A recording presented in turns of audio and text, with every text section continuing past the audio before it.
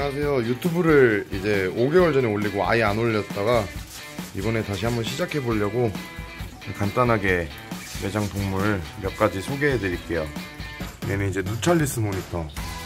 제가 덕구라고 이름 지어줬고요. 답을 한번 적을 건데 얘가 이제 크기에 비해 성격이 되게 좋아요. 원래 사람을 되게 무서워하는데 얘는 그게 무서워하는 게 훨씬 덜 하더라고요. 이제 누찰리스 모니터는 머리 보시면 이제 머리가 하얀색으로 변하고 있는데 일반명이 이제 white head monitor라 그래서 성체가 되면서 머리가 점점 하얘져요. 처음에는 이제 water monitor 아종으로 분리가 돼 있다가 이제 아예 학명이 나눠졌어요. 그래서 이제 water monitor랑은 다른 종이라고 보시면 되고요. 그래서 이제 학명도 다르니까 얘네는 시설 등록이 필요 없는 종이고요. 그리고 더 다행스러운 거는 이제 water monitor는 너무 커서 크기가 못 기르시는 분들이 많이 계신데 얘는 다행히도 water monitor보다는 훨씬 작게 자라요. cumingi보다도 더 작게 자라고요. 이제 여기서 한 3분의 2 크기에 데려왔는데 그때는 머리가 하나도 안 까졌다가 지금 이제 점점 하얗게 머리가 변하기 시작했어요. white head monitor란 이름답게 엄청 잘 먹는다.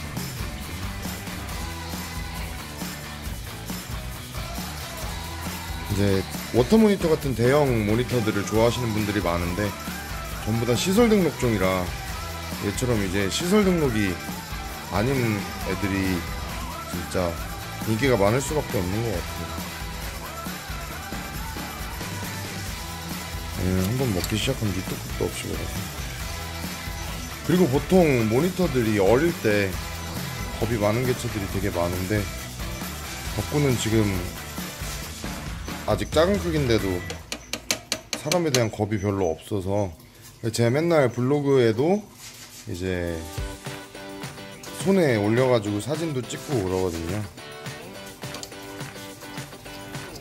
엄청 먹는구만. 네, 누찰리스 모니터 소개는 요 정도 해드리고요 다른 애들도 또 보여드릴게요.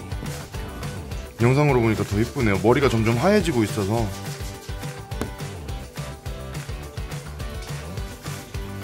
팩맨을 좀 보여드릴게요. 일단 요즘에 제가 키우는데 완전 재미 들린 뮤턴트 팩맨들이거든요. 얘는 지금 분양 가능한 애고요.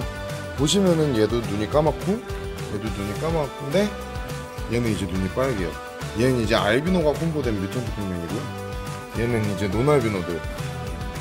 이 녀석은 제가 정말 이뻐하면서 키우던 애인데 이번에 분양이 됐어요. 그래서 얘는 이제 오늘 새로운 주인한테 갈 거고요. 얘는 암컷이고. 얘는 아직 주인을 못 만나서 기다리고 있습니다. 이번에 얘네들이 수입 들어올 때 엄청 베이비 사이즈 들어왔는데 그때는 무늬가 하나도 없고 새하얬었어요.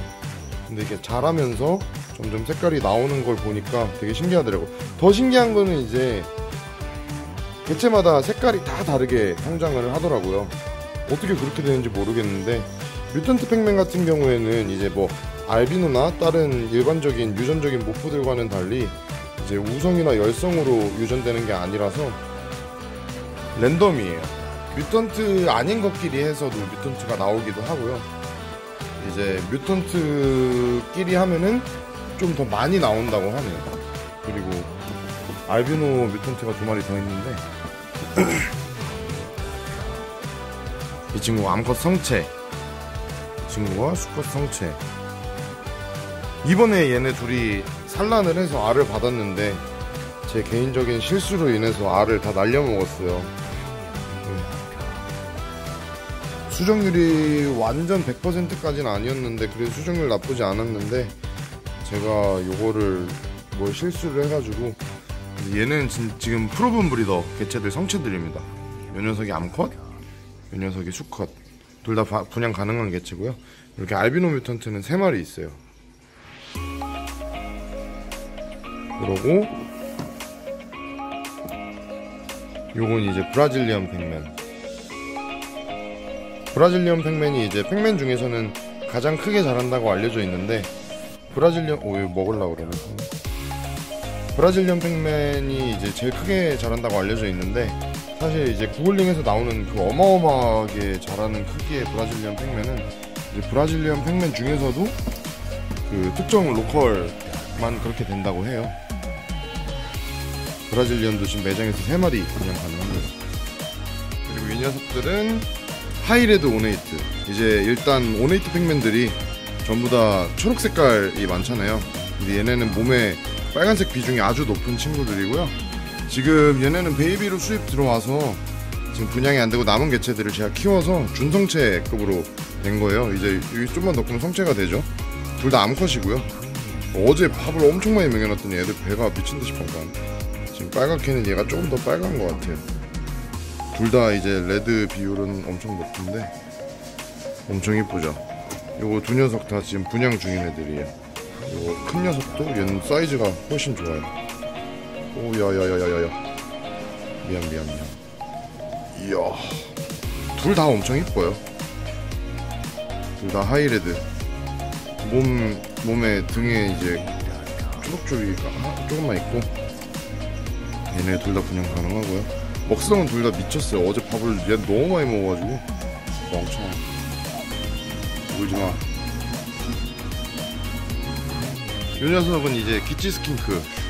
와, 이- 제가 요즘에 매장에서 사육하면서 제일 재밌는 종 중 하나예요. 왜냐면 얘네는 먹이가 못 먹는 게 없어요. 사료도 먹고, 귀뚜라미도 먹고, 위럼도 먹고, 뭐 애호박, 청경채, 치커리 같은 야채도 잘 먹고, 보시는 것처럼 성격도 이렇게 좋아가지고, 근데 거기다가 제일 제- 저는 키우면서 제일 재밌었던 게 얘네가 성장 속도가 훨씬 진짜 빨라요.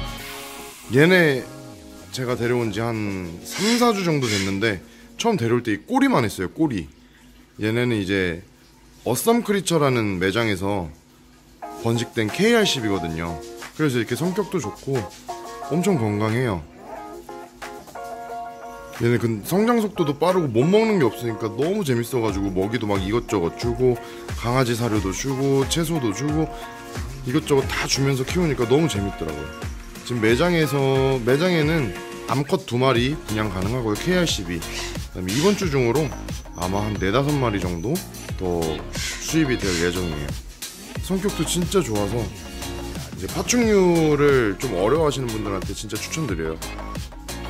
왜냐면 얘네가 먹이도 워낙 다양해서 벌레를 꼭 굳이 집에 두지 않으셔도 기르실 수 있고 성격도 이렇게 좋아가지고 그다음에 생긴 것도 엄청 귀여워요. 짜리몽땅하게 생겨가지고